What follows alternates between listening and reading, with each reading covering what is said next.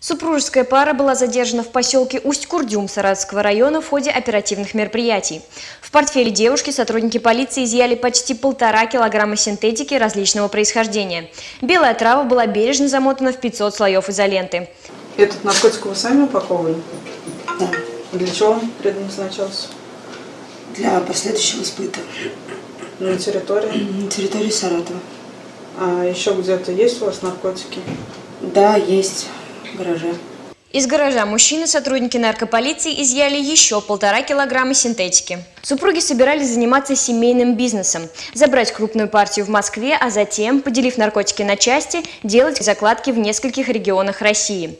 Предпринимательством хотели заниматься оба, а всю тяжесть ответственности мужчина по-джентльменски решил переложить на хрупкие плечи избранницы. С какой целью вы в Москву ездили? За рулем катаюсь. Просто так? А, жену возил.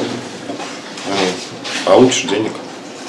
А, то есть она вам денег еще обещала. Ну да, купить что-нибудь. Однако оперативники доказали его причастность к хранению наркотиков с целью сбыта. В настоящее время в отношении задержанных возбуждено уголовное дело по признакам состава преступления, предусмотренных частью 5 статьи 228.1 Уголовного кодекса Российской Федерации. Задержанным грозит до 20 лет лишения свободы. Андрей Багаев, Денис Желтов, Анастасия Потапова. Вести дежурная часть. Саратов.